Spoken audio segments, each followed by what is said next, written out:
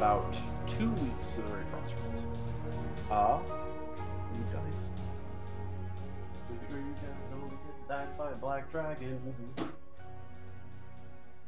Not, not true. There's no, there's no black dragon in this area. It is too green. If anything, you would find a white dragon, or a green dragon, maybe a blue dragon. That's reassuring. if anything. Uh, on your first day of travels, you are traveling south out of Melt along the South Road. The South Road is uh, so as you as you leave Melt, it is slightly is well traveled. Like it is is paved for a little bit, then it's cobblestone, then it becomes hardened, hard packed dirt. You see farmsteads, you see little cottages, and you do note that it starts to get colder uh, as you move out of the city. As you move out of the volcanic hot spring activity area, it is more like winter here, for sure. Your first day, I will say, uh, out of Melt as you head south, is relatively calm. It is a nice day. It is. It's a sunny day. It is that like faux spring you all knowing that it is not the end of winter yet officially. Uh, this is it is cold. It is a clear day but it is it's cold. It is that uh, lack of overcast to keep the heat down uh, or keep the warmth in. But it is it is a beautiful blue sky. Sun's out. As you leave the town of melt. As you pass the farmsteads slowly farmsteads give way to rolling hills an occasional wood, a small wood, not like anything you have to skirt around. Sometimes the road goes through them, sometimes the road goes around them. You see copses of trees uh, as you pass by. Small animal activity, rabbits, deer, multitude of different types of birds. But your first day goes uneventfully out of Melt. Uh, you make camp.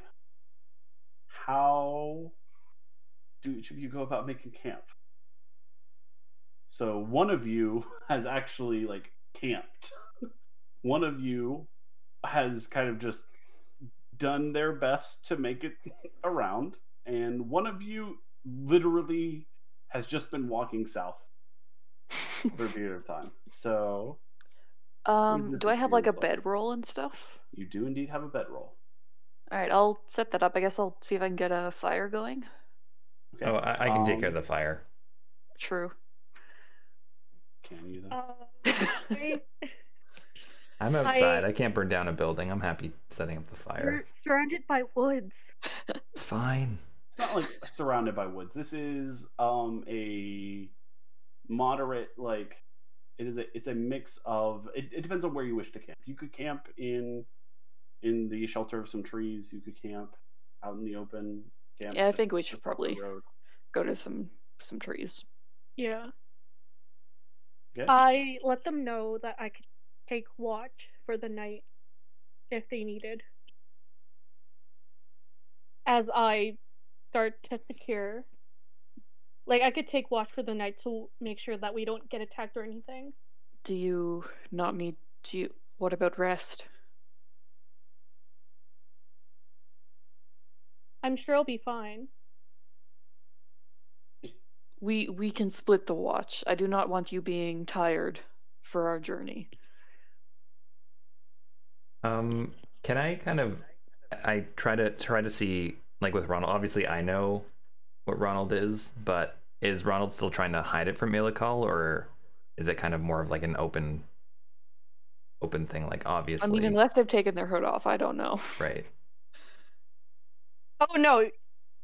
I don't want people to know and I'm I try to make it clear to Alfonz that if he says anything, Okay, so I, I, I, do I, have a dagger.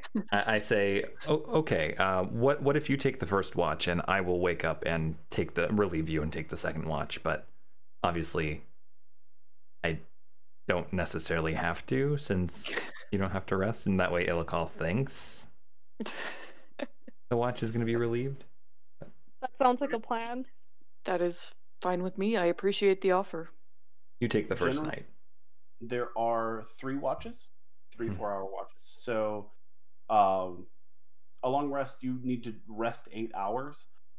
There, there's, we're still, it's darker longer than it's daytime. Still, we've not gotten to the spring equinox, vernal equinox, if you will. Um, so it it is dark for at least ten. Normally, you would make camp. Uh, someone would take watch for three to four hours. Someone else would take watch for three to four hours. Someone else would watch three to four hours. Um, Okay, so I stagger it like I'm I'm theoretically taking the first watch, okay. um, and then pilot or Ronald can go ahead, and then that way when Ilikhal wakes up, it can be kind of be like, okay, it checks out. But as far as Ilikhal is aware, I'm taking the first watch. Yeah. Yeah. So the person who takes the first watch stays up late. Person who takes the third watch wakes up early. The person who takes the second watch kind of has a rough night. um, but Shall we eat dinner? Yep, absolutely, and I uh, I use burning hands to to start a little pile of sticks. Wait, wha- holy. That's it's, intense. it's fine. Alright. It's fine. It's fine. So- I have this under control. Dude, it's fine. Uh, you you assemble a fire. You assemble like what would be enough to start a fire. I mean, I also enjoy using a flamethrower to start.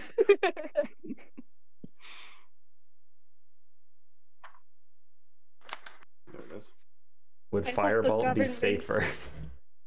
You don't have fire. yes. Yes. Okay, I will use is firebolt Yeah. instead. I'll use firebolt instead. Okay. In, instead of Hey, it's our first night. I'm trying to make a good impression. instead impression. of using a 15 foot cone of fire, scorching the earth around you, you instead decide something that might be a little more subtle, not even Appropriate. appropriate, potentially. Yeah. I'm not gonna you make a ranged spell attack. It's right there. You gesture with your hands, and you say a incantation. Fire. A fiery ball appears in your hands, and you. It's about the size of a tennis ball, and you you flick it down onto the kindling, and it immediately catches fire. It is still a little overpowered. Uh, the kindling takes 1d10 fire damage, and that is enough. that is enough to start the fire. The kindling is dead and burning. All right, So so now you have a I'll, warm fire. yeah, I'll sit down, eat one of my rations. yeah, me Okay. too. Me too. And as you are eating, you um, you also uh, take care of all your other daily needs. It'll call you are a trained mercenary and hired hand. You do all of your maintenance on your weapons. You take care of your hand axes. You take care of your you have javelins also. I do believe. And you, big you check sword. them. You check check those, and then last but not least, you set your sword in your lap, and, and as a daily ritual, you clean and you oil and you sharpen as necessary to remove any impurities along the edge of your blade, should it be needed. Um, you slowly put it back in its sheath. You set it down, and it is it is bedtime.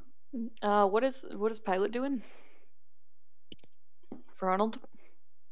I am. Shit. I am.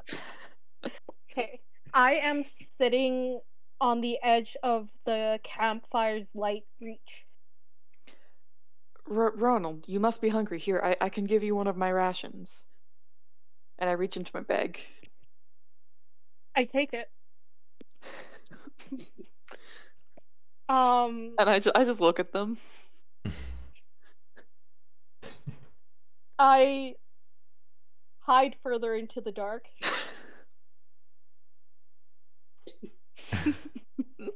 And I um and you said there was like dried food in there?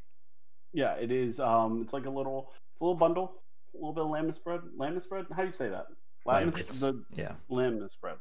Uh, no, it's And- uh, it's like a biscuit. There's some like raisins, craisins, dried fruit. Um, I dried meat, jerky. take sausage. the lembas bread and crack it in half so it sounds like I'm eating it. Yep, it's a biscuit. We, we probably want to retcon and make sure it's not lembas bread because one small bite is enough to fill fill the stomach of a grown man. It's just a ration. It is. It is just a ration. It's a biscuit of some sort. Or I take the biscuit, In I case we got a sweet it deal. so it sounds like I'm eating it. Alrighty. R.I.P. ration. Crunch, crunch. I can't believe you I- just let me sacrifice that. What you wanted me to say something? I'm not gonna say something. not you. Not you, Kay. And then I take the rest of it. I haven't eaten it, and I want to later, when Ilkal is asleep, to put it in Kate or put it in Alfonz's stash. Okay. Okay. Score. Um, yeah, munch, munch, munch, crunch, crunch, crunch. Bread noises. You call. Uh. Jeez. Make a sleight of hand check to to do that. Natural twenty. That's pretty good. Ilikhal. Make a Damn. perception check. Not as good as a nat 20. A Ronald munching on some bread. Alrighty. Good enough for me. the bluff work. Yeah, and it is it is bedtime. Uh, it is a clear night. Uh, you look up. It is uh, tonight. Is it a clear night? Can we see the stars? You Uh, can see the stars, and tonight is the smallest moon is out. Only her. Only Minuet uh, is the only. Actually, uh, Pilot and Ilkal know the name of the moons. Minuet is out tonight. How many moons are? I imagine uh, I'm I'm watching the skies a lot. I feel like I should know how many moons there are by now. Um, you have noticed that there are three moons, uh, and there are no like uh, there's no like cycle of them, uh, like our our lunar cycle is.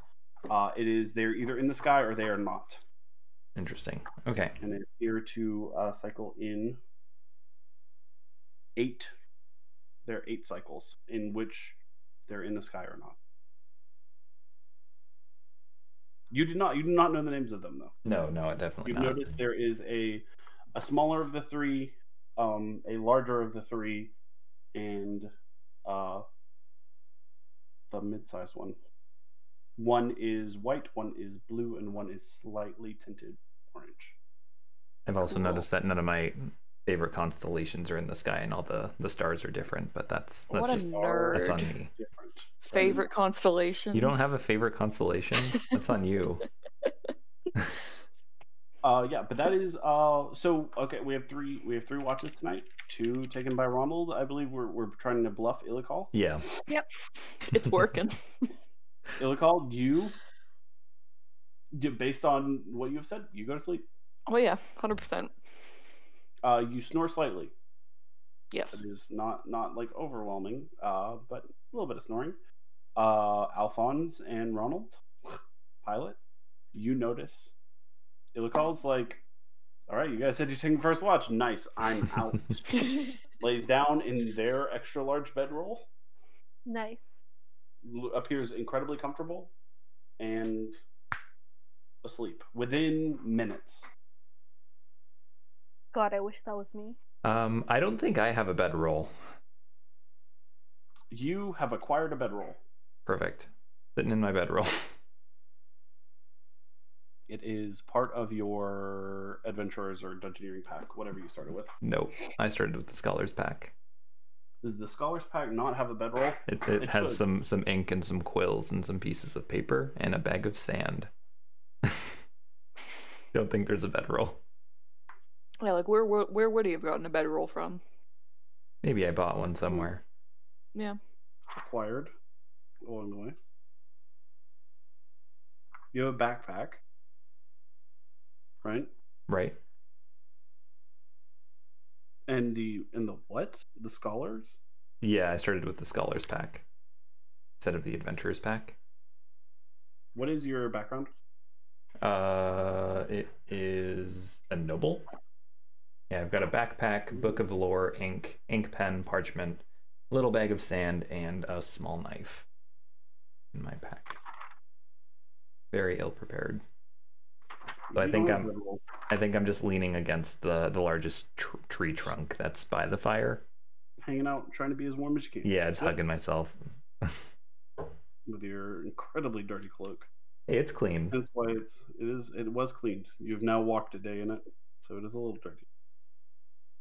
Ilikhal has a bedroll though, for certain, because Ilikhal has been traveling. All right, yeah. So you you snuggle up in the tree, best of your ability. Although you are claiming to take first watch, so after Ilikhal falls asleep. Mhm. After Ilikhal falls asleep, you limber up, you curl up in your, your cloak the best you can, and slowly drift. Pilot, you are taking the first two watches, unbeknownst to Ilikhal. Okay, on your first watch, make a. What is your actually? I should say, what is your passive perception? Or you actually, it'll be active. Make a perception check, and then also, what is your passive perception? Uh, my passive wisdom is 12, uh, and I rolled a 7 for an active. Okay, so you cannot roll lower than your passive for guarding. Uh, actually, while we're while I'm asking, what is everyone's passive? I've got a 12 as well. Okay. I've got a 13. Nice. All right, so pilot's passive is a 12, although they rolled a 7.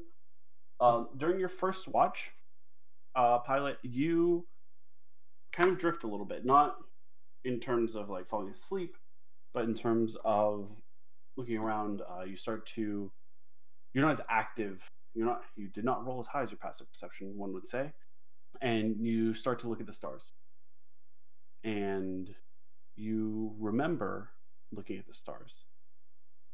And these stars are right. Unlike Alfonz, you remember the way these stars move through the sky. You you know the names of them, or you you know names of them.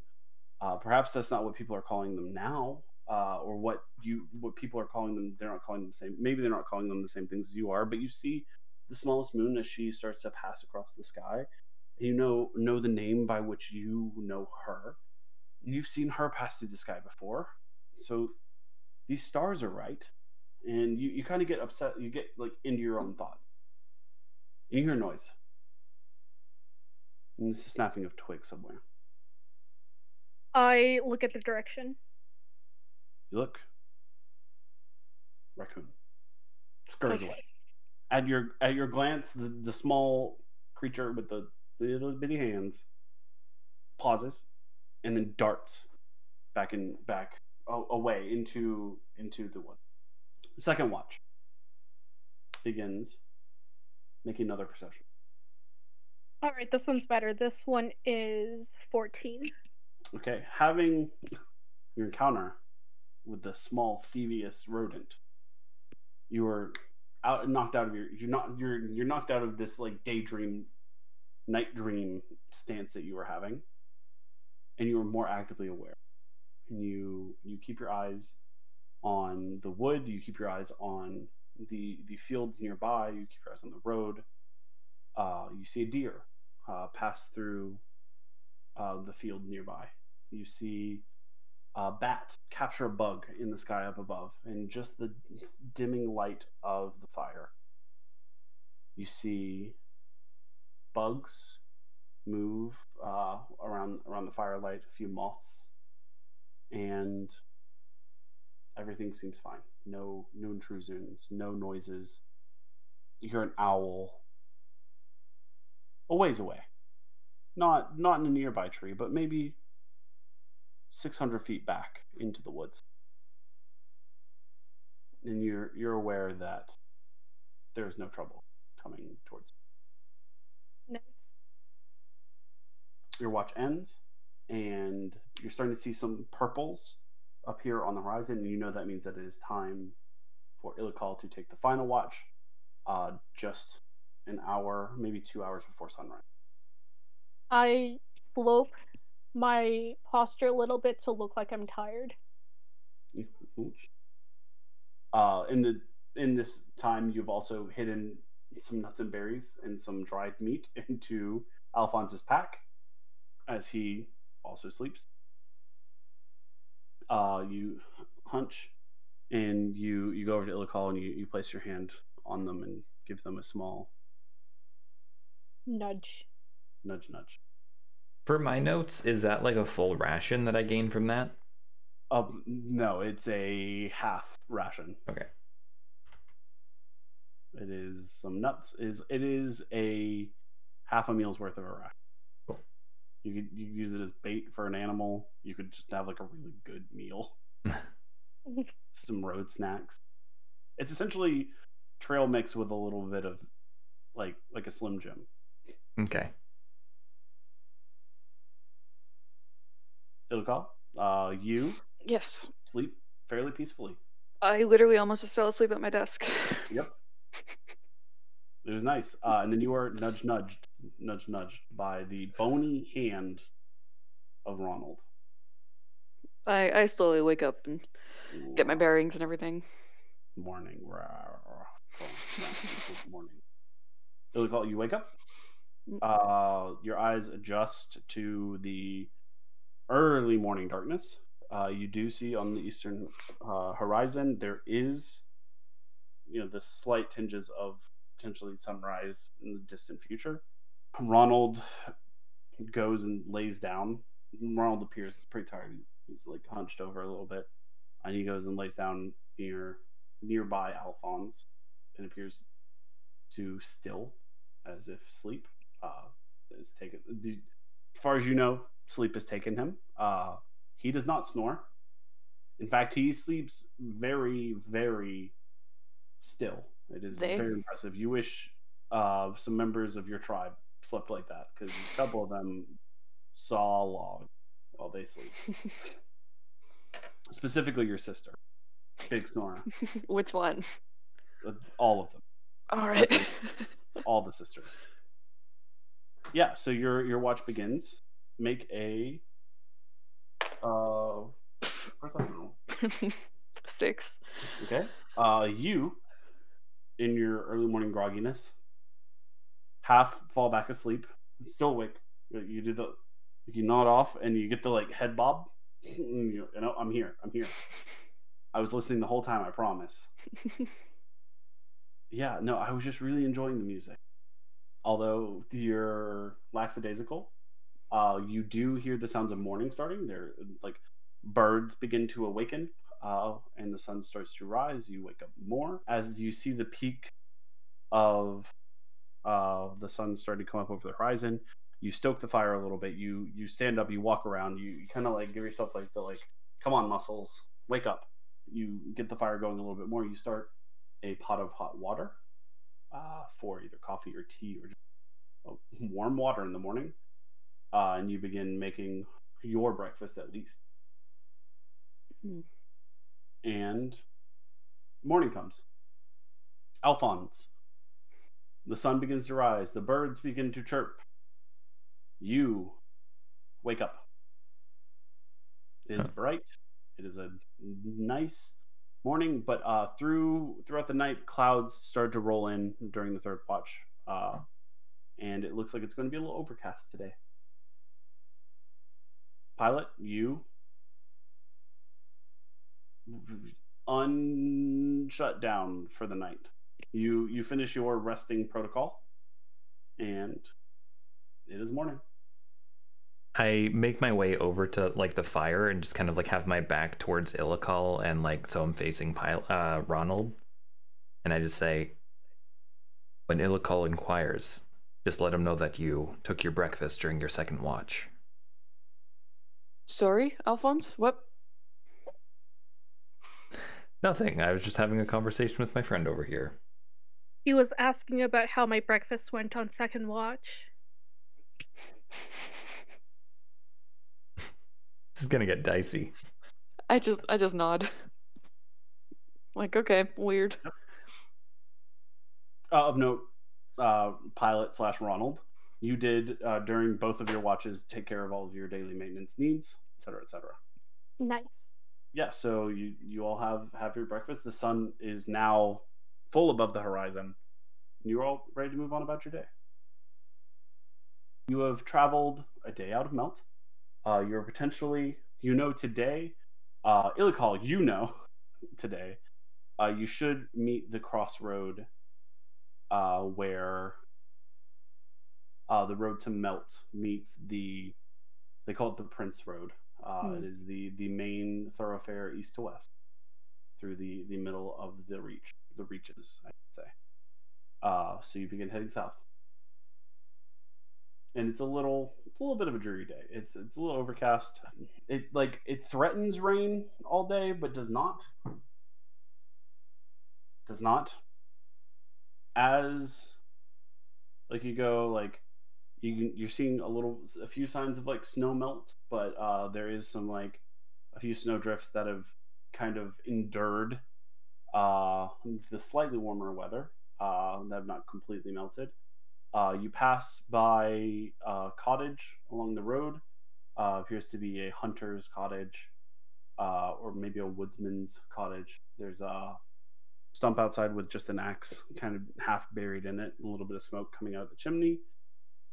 And you do not encounter any major trouble. Can I get uh, three perception checks from the group as you travel throughout the just to as you're looking around 15. 15 from Ilikhal. I've got a 12. Uh, 12 and dirty 20. a dirty 20 ooh as you're all looking around uh Ilikhal, you notice a cardinal like uh flying around and you you recognize that you recall a story your mother uh told you about a, a trickster who would transform himself into a cardinal and uh pester like a, a trickster god who would transform himself into a cardinal and pester his siblings or spy on them and then use uh, their secrets uh, to get them into trouble. Alfonz, what was yours again? 12. 12. You notice a uh, really interesting growth of moss on a large rock. Very scientific, Mhm. very dry. not very not very interesting to anyone else. You you go to mention it and Ilikhal does not seem interested in hearing your story about moss. I just noticed that like we're heading in the right direction based on the side of the, the rock that the moss is on. Yep. That's about it. Wow, where Uh, do you go? And I was really excited to share that too, but shot down. Uh, pilot, you notice as you go, as you're passing through uh, a small wood, you notice a a pile of leaves that that stands out odd. Like it's it's too deliberate. If that makes sense. Like leaves fall in, in a scattered pattern but this pile of leaves is like a pile of le- like almost like if you raked leaves like it is there are too many leaves in one place not enough leaves everywhere else Is there a rock on the ground? oh yeah you can you can find a probably a like smaller than fist size rock Why are there leaves in late winter? uh pine needles then Okay. tree I grab the rock and I throw it at the pile of leaves. Uh you pick it up Uh, make an attack roll throw an attack roll with proficient if Oh. close enough That's a 12. good enough. Uh, you toss it, oh, throw it uh, into the, the pile of pine needles and other brush. You hear thunk, like a hollow wooden sound. Not not a sound that pine needles and other things would make. I stop immediately then. With inhuman like speed, no no momentum. Pilot stops as you guys are walking. You, what you you two see? You see pilot reach down, pick up a rock, chuck it at a pile of leaves. You all hear the thunk, and then pilot completely stops. It takes me a good few steps to realize that they've stopped. I'm just kind of chuckling and like, nice shot, but I don't realize. Down the road. Pilot absolutely stopped. Three steps down the road, Ilikhal, you realize everyone else has stopped. I take their attention to the uh leaf pi- or pine needle pile. The the brush pile. Uh, you gesture at the at the uh, pile of brush. Alfonz, Ilikhal, you notice uh, also when pointed out, yeah, kind of odd. Like the, the the surrounding area is pretty cleared of brush and leaves and pine needles and all winter bits, whatever. But that area is exceptionally dense. It's probably three foot, like a three foot circle, uh, three foot in diameter in a circle. I'm just I'm just gonna go over and start kicking through it. Okay. Uh, you go over, you start kicking the, the pile, and clunk, kick, toe hit something incredibly hard. Ow. Literally stubbed your toe. And there is a small chest uh, buried in this pile of leaves. It's like a, I mean, it's probably size of like two loaves of bread, I guess. It's like I I'll go over the other two like, hmm? Is it locked? I guess I try it. there is a lock on it. It is indeed locked. Pick it up. And I- it is, it's pretty hefty. It's got a little bit of jingle jangle. Can I use thieves' tools on it? Uh, I you can. also have thieves' tools. You both have these tools. Yeah, however I'm holding it. Oh, well, you could do it.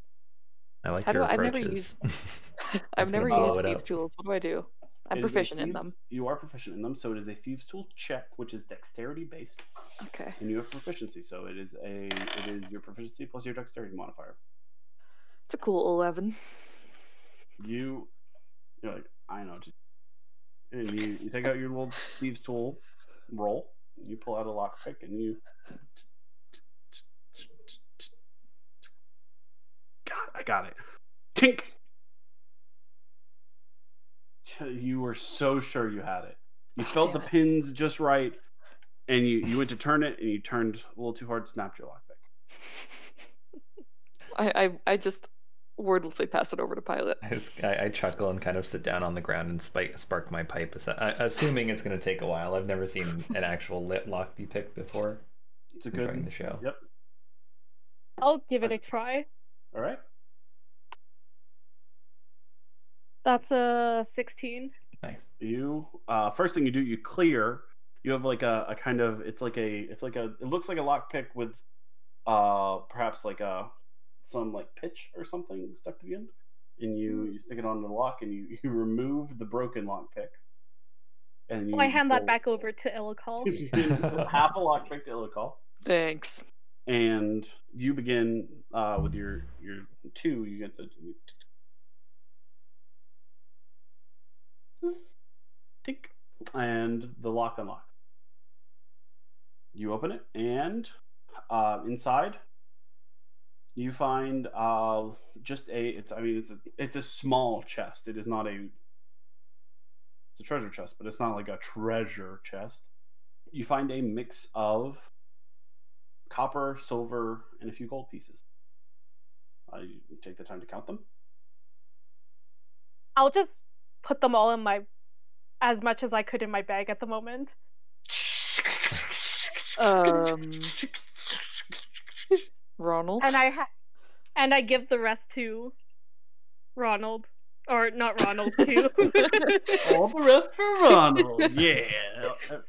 I mean, they I all fit kinda- in your bag. There, it is. It's not a ton. Actually, Well, how much was it? How much I would like to count. It is okay. It, it appears to be about You're about to get stabbed. like sixty copper pieces, um, hundred silver pieces, and fifteen gold pieces. oh wow. Hmm. Um, I take all the gold pieces um to myself and then I hand the copper and silver to Ronald and or not. That's you. Payday for Ronald. For the Freudian slip. and then I split the silver and copper into equal sections and give it to Ilikhal and Alfonz. How Alright, much you- silver was there again? I It already was forgot. uh, 100 silver and 60 copper. Okay, cool. So, what would have been 10 gold worth of silver and six silver worth of copper. Yeah. Uh, so you see So Ronald 50 and one. it open, open it up. Mm. And- 50 Oh, silver, 50, 50 and 30, yeah. copper. Yeah, so ping, ping, ping, ping, ping, ping, ping. And into Ronald's pocket go some coins. And then and handful of coins for Ilikhal, handful of coins for Alfonz. Not a gold piece to be seen though. Not suspicious at all. I am lawful good. it shows. I'm not gonna push Uh, it. Yeah, me neither. Yeah. So uh, you you appear to find like this beaten up treasure chest hidden in the in the woods along the way. Um, Well spotted. Yep. What do you do with the chest? Do you you keep it? Do you are you carrying the the one foot by nine inch chest? You can put it in your I don't pack. take the chest, but can I keep the lock? Yes, you can. I keep the lock. But what do you do with the chest? I look at Alfonz and I say, Kindle. You could. It's probably not worth the effort. Okay, I just toss it to the side of the road away from any other viewers. rolls into the trees. Compost. no. You're more than welcome to pick it up, Ilikhal. It's organic, it's not littering. Okay. Yeah, you know all that all the work they put into waterproofing chests definitely makes it hmm Yeah, the lacquer, that's fine. totally fine. Mhm. Actually, Okay. you know what? I Pilot goes back to pick up the chest Okay. and hides uh, it under the leaves again, or okay. hides it under the pine needles again. one of the hinges is slightly off center now, so it like closes, but like a little gap in the back, back in the pile of leaves. Oh, sure, that's kind Someone's gonna come looking for that, I know it. Yeah, we definitely like robbed someone of their life savings. Should have hit it better. Uh, you continue continue on your walk. Um, Yeah. yeah. So that happened just before noon. You guys uh, stopped for a lunch at some point. Eat a meal. Move on. Sun starts to go down. You uh, come across a small lake. It's more of a pond than a lake at one point. Uh, as the sun starts to set, uh, you do probably an hour before sunset reach the crossroads for the prince's road the prince road as they call it when you know you need to you see there's a staked in sign and to pointing to the right says Rurry Crossroads. The left says Summer's Hearth. Pointing back at you says Melt. With a few distances marked. Summer's Hearth is farther away than Crossroads. Melt, you've traveled I don't know, 15, 20 miles. Alrighty, I mean, keep going until it gets dark. right turn. As you're going, about a half hour before sunset, you come across a felled tree across the road. Uh, you notice this probably 100 feet away. I immediately pull out my sword. Oldest trick in the book. Ilikhal, unimpressed, fucking with with like all the disgust. Fucking amateurs. Draws a sword. Uh, you two hear Ilikhal like upset.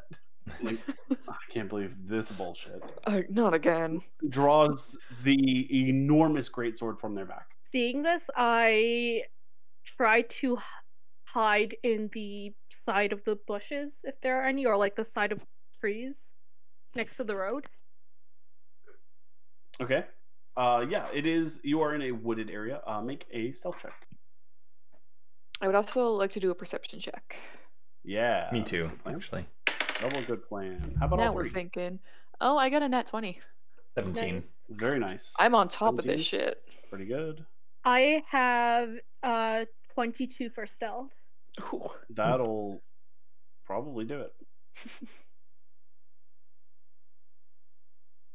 I'm gonna use some magic. Better roll well on initiative. the race. Yeah, as you uh three are Ilikhal notes uh small swear natural 20. What the other two of you get? 17. Uh, A 22 for stealth.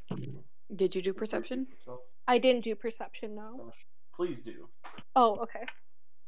That is a 13 for perception. You all notice them. They're not very good. I noticed them a Um, lot. You notice them. You notice them 100 feet out. um, you notice them and draw your sword. Like as you draw your sword, you're like you, you, and you. Okay, I guess this is the trouble we're going to encounter. Um, as it goes, tree down. Not. I mean, hidden. Sure. Like they're not standing in the middle of the road. I guess. Uh, but you notice one. Uh, to your right, uh, off the right of the road, uh, standing up against a tree, is is literally smoking a cigarette or some sort of like smoke item. Pipe. Um, it is not a pipe. Uh, Okay. it is it is a rolled rolled lit thing. Joint. Uh, potentially, you can see, you also get a whiff of it as the wind picks up.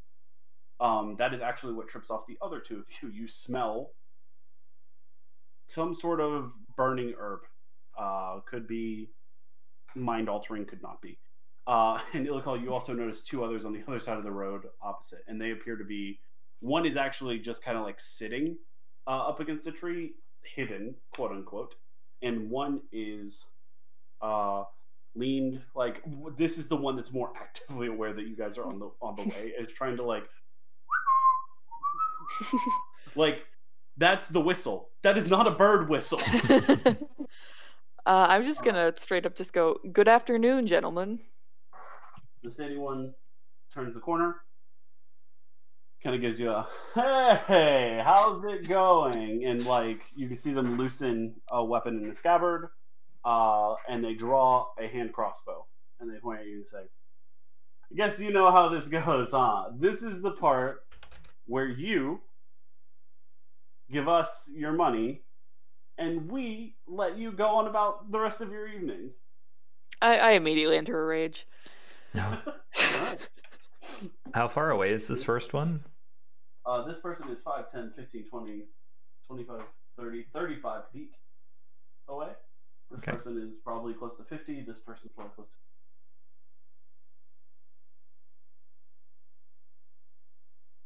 Should we roll initiative? Yes. Uh, if that is. If that is how, They've how you they've already about drawn Yeah, there- weapons there's on only us. one I way mean, this is going down. All right. Uh, this person standing. This person is still No. technically prone. oh no, Please KGlow. tell me you got lower than a five. I got a 17. No. Ilikhal is on 17. Mm. Alfonz is on a solid 5. hmm Do I add anything to that number, or is that just Yes. Top middle of your page, once again. Yep. That's the. In that's it. The mean, in it? is what Uh, so you add to it's a initiative? six then. Oh, solid. Nice. Oh, I have 16. Got a 16. Pilot. I'm so mad. Hey, look, here's the deal. They can't kill all three. Exactly. There are only two Lee. of them right now. Mm, they can't kill all yeah. three of them. And uh, terrible bandits. Higher than six. The probability is pretty good. oh, feels bad, man. bandits are actually on seven. Well, you know, at least they're all out of range. They roll. They rolled a roll a seven. For well, you they, they probably have. Yep. I, I have a longbow. I have stuff I can throw. All right. So Ilikhal, you immediately enter a rage. We enter initiative. You, uh, not having it. Um, so you said that first guy is 35 feet away, so I could get within melee range. Yeah. You can. So you move all the way up on him. Yep. All right.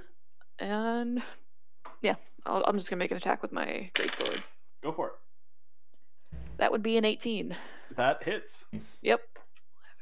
13 damage. He's dead. Uh, He's dead. lethal he? or non? Lethal. Yep. It's a sword. Alright.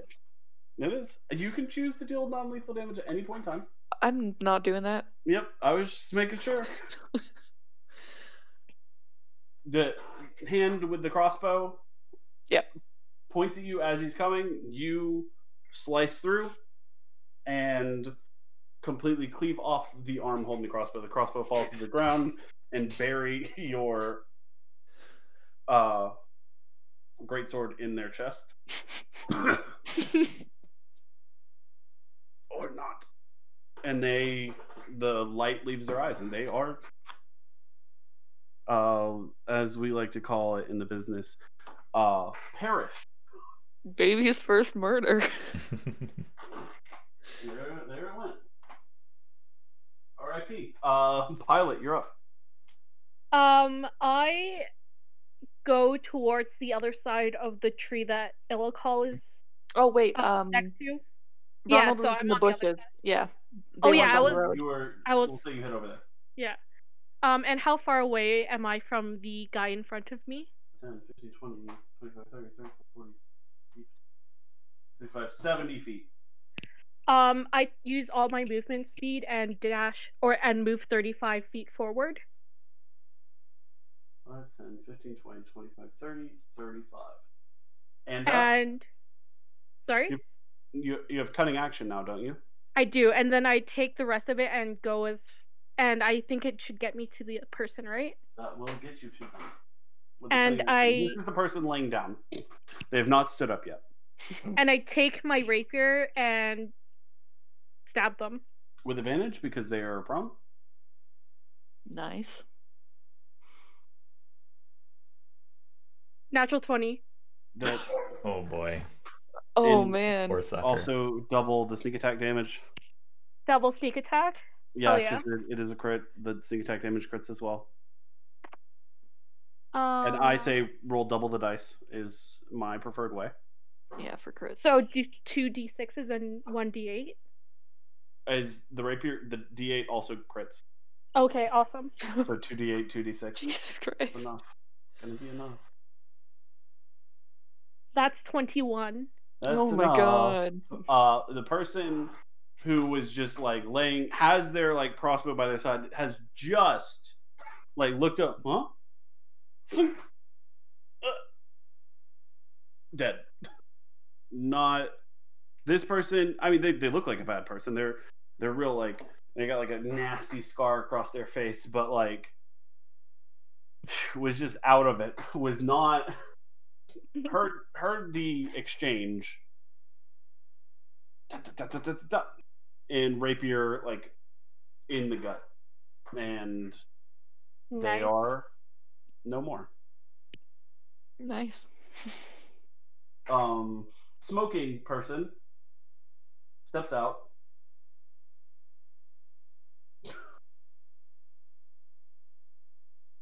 Is going to not charge either of you is going to draw their light crossbow is going to fire at you Ilikhal because you were the closest and Alrighty.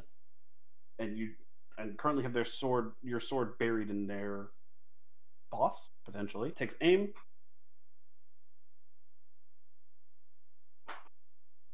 the there's a 14 to hit Just does. just hits.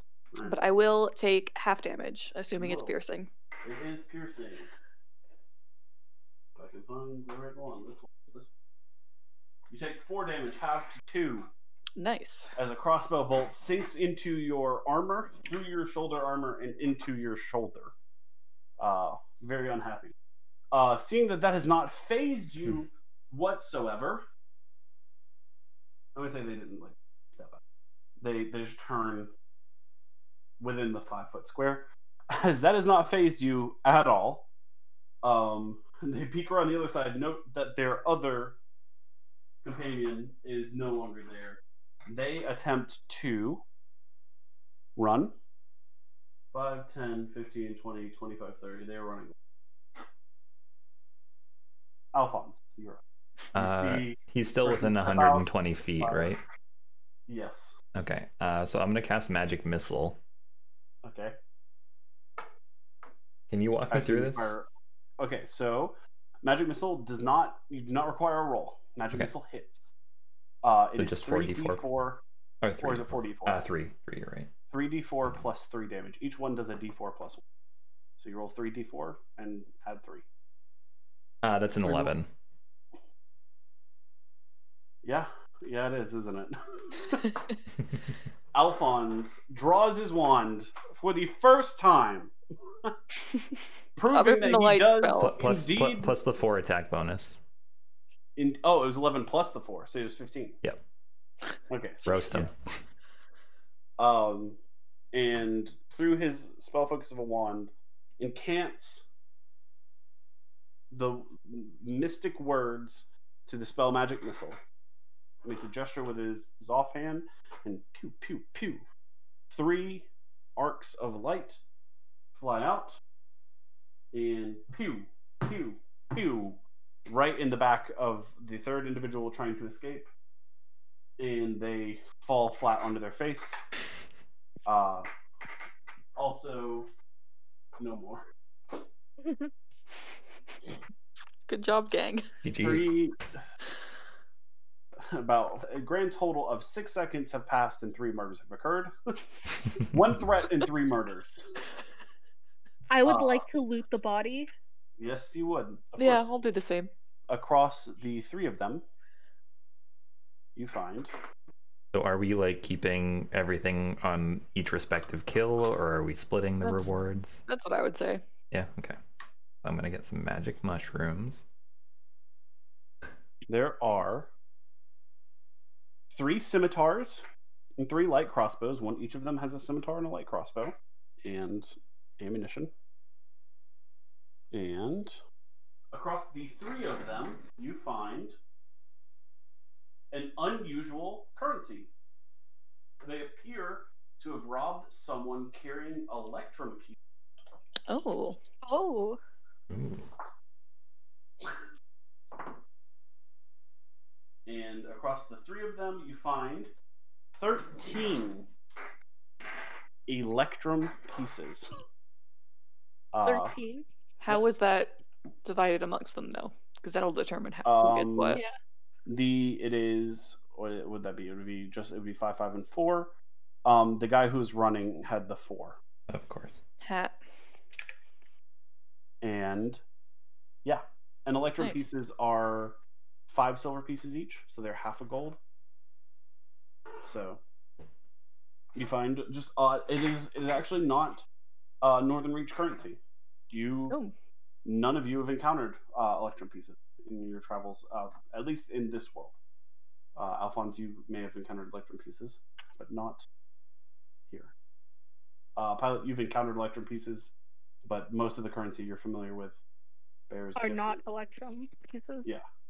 Nice. Yeah, you, you find three crossbows, launch, and three electrum pieces. It appears that they have uh, recently stashed all of their other uh, treasure somewhere else. Got him. should if they had if they had other treasure. But that is all they have on themselves currently. And Nice. uh, it is about.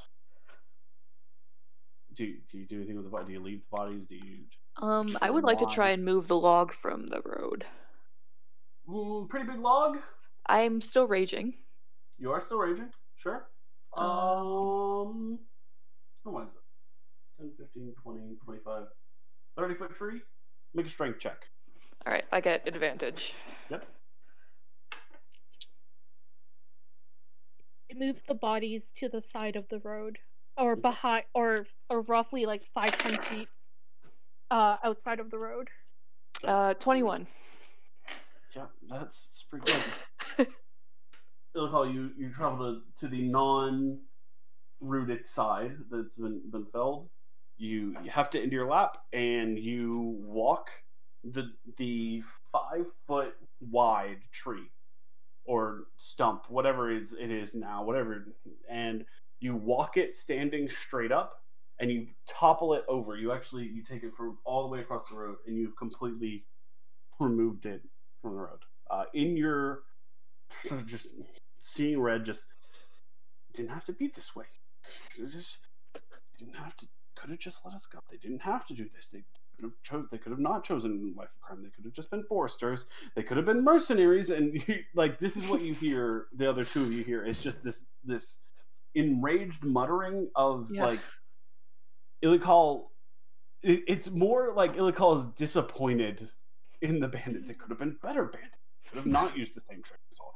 Like Accurate. as as the rage is settling, that that is what the other two of you hear is Ilikhal just hoists this tree up and over the road and removes the the block. Can I um so the the guy that I got, he was smoking something. Uh can I Yes. pocket whatever that was? Yep, I imagine it he has a appears, stash of it. um, He he has a a small pouch. Uh, it appears to be tobacco. Uh, it's a really stinky tobacco. Maybe it's it's like a mix of like uh, tobacco and uh, some other herb or root that is it's just real pungent. hmm Um, yeah, he's got a pouch of it, and um, along inside that pouch is a few uh, papers for rolling. But yeah, you also get a like four or five servings worth of tobacco and four or five rolling papers for it. Okay, you do not take the Alphon. You do, Alfonz does not take the light crossbow or the scimitar. They are worth something. Uh, but like used scimitar, used light crossbow, not a ton. Something though. Uh, he leaves them with the body. Uh, pilot, as you're moving that body to to be with the others, you you notice that there's still a light crossbow and a scimitar. I take the light crossbow. Okay, you have two light crossbows, and if you take if you took the scimitar from the other, you also have the scimitar. I'll take the, the third light crossbow from my guy. Okay, do you also take the scimitar? No. Okay, just take the scimitar. So so do we leave the scimitars essentially across the board? Yeah, that's what I do. Okay. Yep. Mhm. So one or two light crossbows to each of you. Uh, bodies left with, and they're pretty dinged up scimitars. They're not like nice scimitars. They're uh, uh they'll call you note. They they don't even have like sheaths. They're they're more like a loop on their their belt. Uh, so blade would be exposed. They're beat up scimitar. Like they don't. Probably stolen also. Not good bandits. Alright, I guess we uh we make camp. Not here. Someplace? okay. Yeah, you, You you three, The and, your, bodies. and your three new friends who are dead. we could just burn the Oh. bodies as Kindle. Oh my god. No. Are Sad. gonna move Saf's alignment a little bit towards evil, a little bit towards chaotic.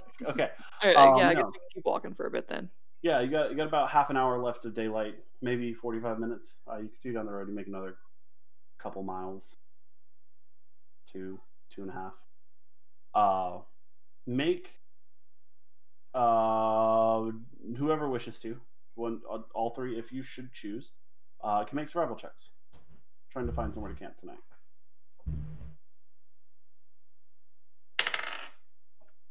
Twenty-one. very nice Uh, I've got a nine.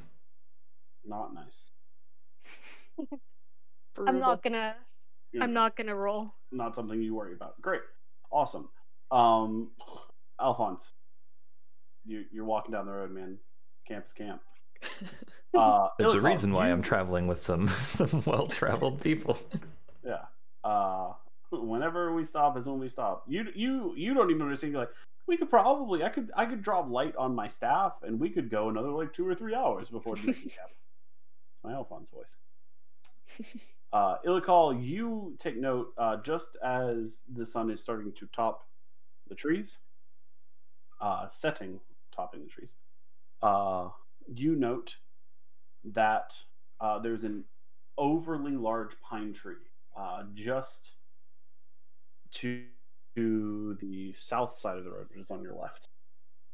Uh, and you know through your travels uh, that these that overly large pine trees, such as this one, potentially what happens is uh, the branches spread out and they're evergreens, but the because they spread their branches out so much, uh, in towards the trunk is often like a great place to make camp. Uh, people often call these types of pines wayward pine.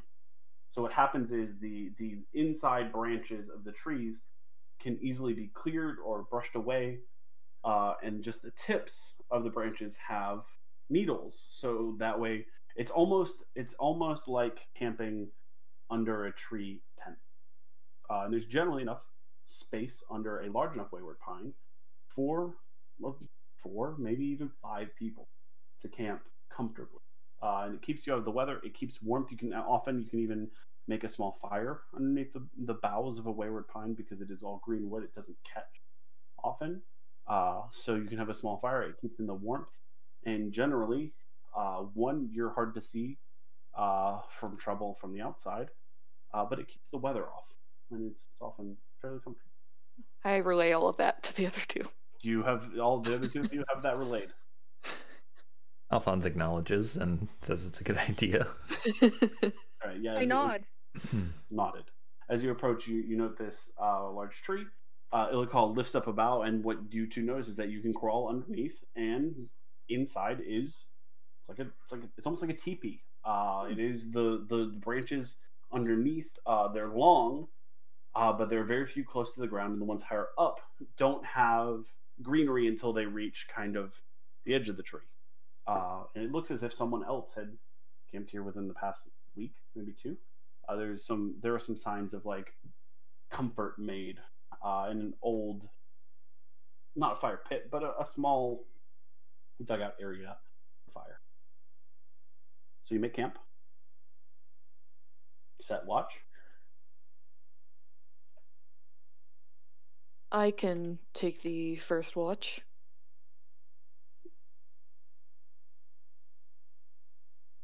Works for me. I'll start the fire. Take the watches after you, Ilikhal. Or, yeah. Okay. Uh, you begin. You go again through your nightly routine, as we discussed moments ago. Eat my dinner. eat your dinner, explore the area. You stretch. You take off uh, armor. Uh, you take off your shoes. Rub your sore feet. You've been on. You've been walking for two days now. I don't know. You dip into that flask that you had hidden away that we hadn't talked about yet, and you start to uh, settle in for the night.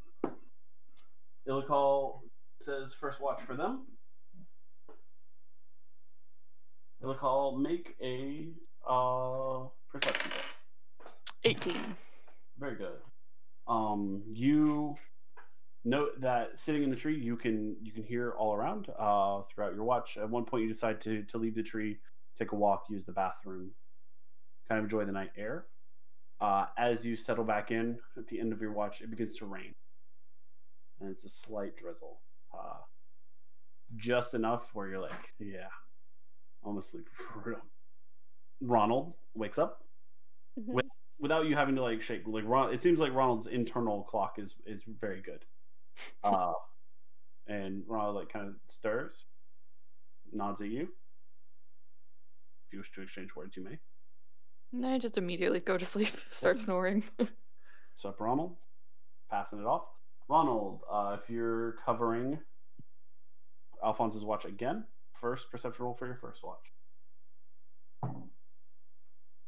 Uh, the first one is a six. Okay, much. Uh, your passive perception is much higher. hmm You you note uh, the rain Good job. No noises of animals. No, nothing really. No trouble. Second watch. Second watch is 18.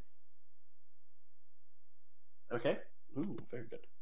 Um, as the second watch, as uh, dawn approaches,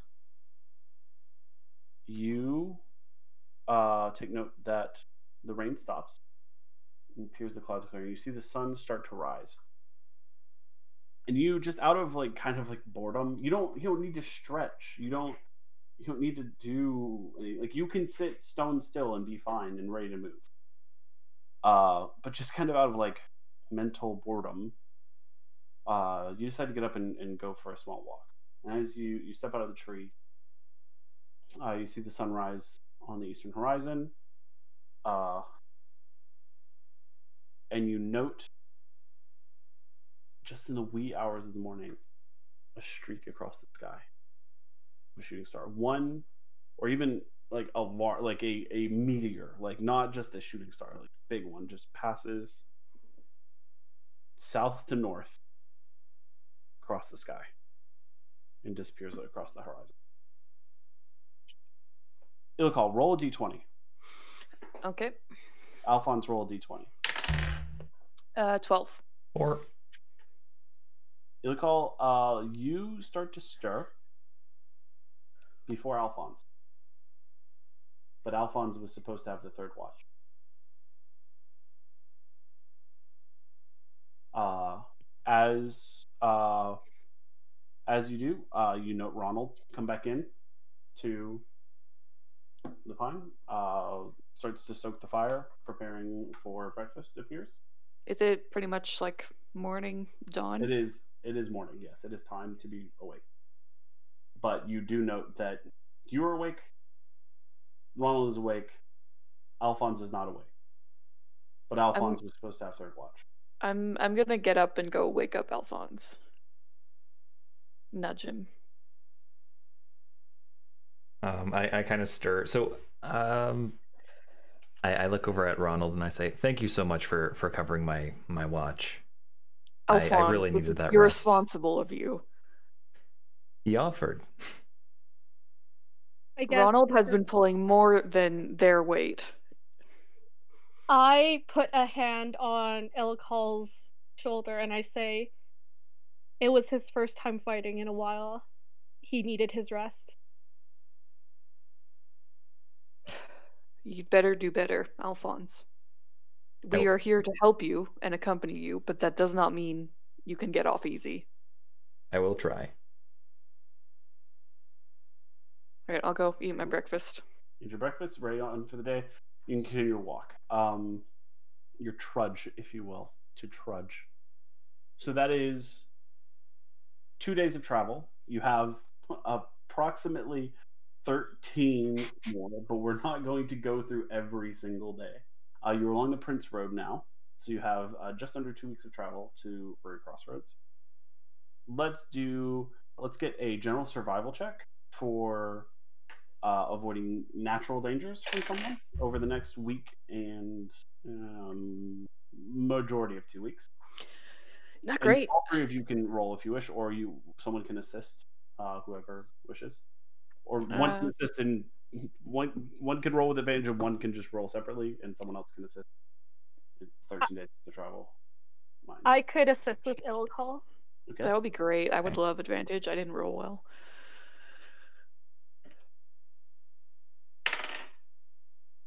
Slightly better, 12. not bad.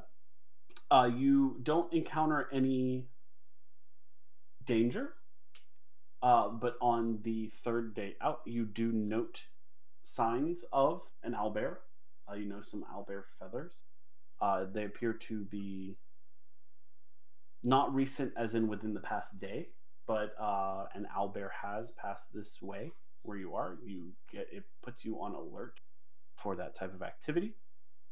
As you continue to travel uh, towards the end of the trip, you also start noting things. Uh, you, you you note more travelers. Uh, no one appears to be sus- like suspicious. You see a traveling caravan of traders. Um, just they're bringing goods potentially from Rurry Crossroads, potentially to melt. Um, on the fifth day, you pass through a small town with of like six cottages no no industry. It, it appears to be uh, Forester's Town. Uh, they they take care of the local forest. They do they collect lumber. They probably sell to traders and uh, passerby. Um, one of the cottages has some leathers that appear to be like tanning. Can we get a so that as far as natural dangers go, you're fine. Uh, as far and that includes monsters. As far as social or banditry go, uh, can I get a three or advantage and plus one uh, perception check? Nat 20. Very nice. I got perception 17. 17. Uh, Alfonso, would you like to roll? Uh, no. Okay. He's just vibing. He's vibing. Um, yeah, as as far as social and human issues, uh, I rolled a Ilikhal is on point.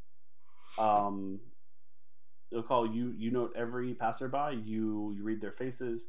You see a few. Uh, like at one point there appear to be some pilgrims, like uh, led by potentially a cleric, someone who's taken like a vow of poverty. They got like the the brown robes tied with a rope, and they're talking about the the divinity of the road and feeling the dirt with your own feet. And the like four that are following him are just like, yeah, like they they look tired and like they they they bit off more than they can chew.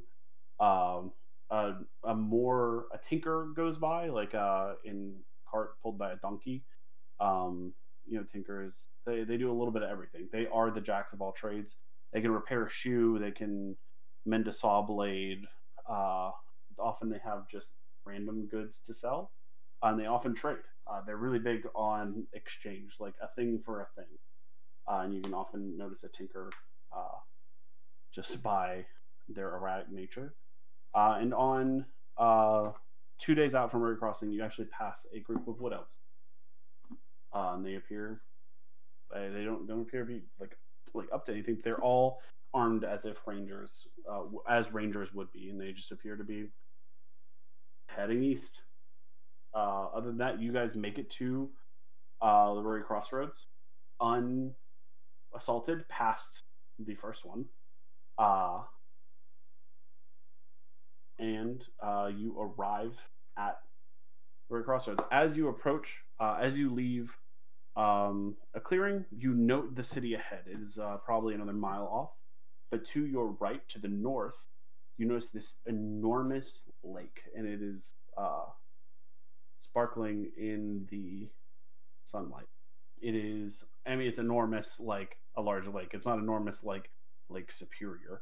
Uh, a, a normal large lake, uh, not a great lake, a large lake. Uh, you notice uh, across the lake there are a few what appear to be like fishing outposts. There are a few uh, cottages, huts, docks uh, on the far side of the lake in in different places. You see a few fishing boats out on the lake. Nothing with sails. Uh, all appear to be rowboats of some sort, or if they do have a sail, it's it's going to be very small and it's taken in right now and uh, you start to pass some like fishermen's huts and things along the way. Uh, as you approach the town, you note that this is a much larger town than There is a wall that runs the perimeter of the town, and you see guard towers at each entrance. From which you can see, you can see the the east entrance is what you're approaching. There are two guard towers. You can also kind of see guard towers at the south and potentially at the north. You can't see across the town. And there are a couple tall tall buildings that you can see over the town's wall. Uh, you see thatched roofs, and uh, it is late midday as you're approaching. It's not near sunset, uh, but on the 15th ish, 14th ish, 15th ish day, around two weeks, uh, you were approaching, and you're all very tired of being on the road. So the conversation has been kind of dry for two weeks. You guys have talked about everything but nothing really. You you all arrive, um, and you see the splendor to some extent that is the Rurry Crossroads. Look, all you've been here. So, Alfonz, this is the largest city you have seen so far. It is a moderately large city. It is a it is a city, not a town. Uh, there is industry here. There is there are multiple races. Uh, there is a large lake. There is trade. There is as you approach, you note other travelers waiting in line that are getting inspected by uh, the city guard and ask like what they're traveling. Uh, but this is your first glimpse of the Rurry Crossroads.